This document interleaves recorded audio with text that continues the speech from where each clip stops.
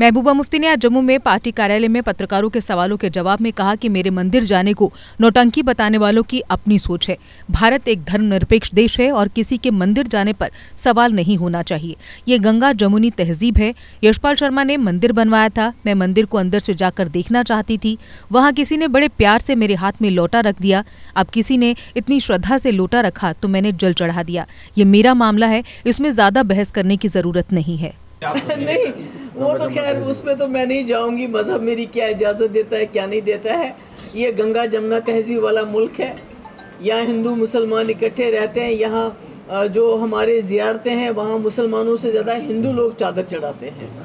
तो इसी तरह मंदिर में जाके अगर किसी ने आपके हाथ में पानी थमा दिया कि आप इस पे डाल दीजिए मैंने डाल दिया तो ये मेरा मामला है इसमें तो मैं समझती हूँ कि ज़्यादा बहस करने की ज़रूरत नहीं है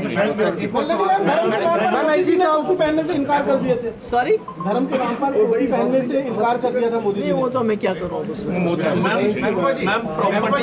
प्रॉपर्टी टैक्स के ऊपर जम्मू एक दिन बंद रहा उसके रिज़ल्ट में एलजी साहब ने एक सजेशन के लिए खोल दिया कि अपनी वेबसाइट पे आप सजेशन दे सकते हैं। क्या सजेशन सही है या मैंने कहा डिफरमेंट डिफरमेंट करना किसी चीज़ को टालना उसका इलाज नहीं जब तक तो उस चीज़ को खत्म ना किया जाए।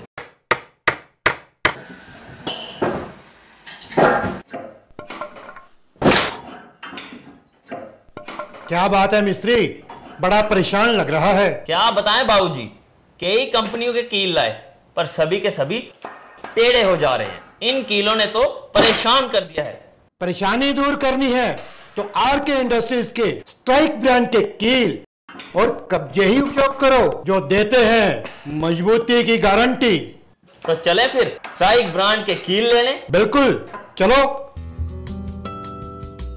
स्ट्राइक ब्रांड लगाओगे तो मजबूती पाओगे। और परेशानी को भी भगाओगे।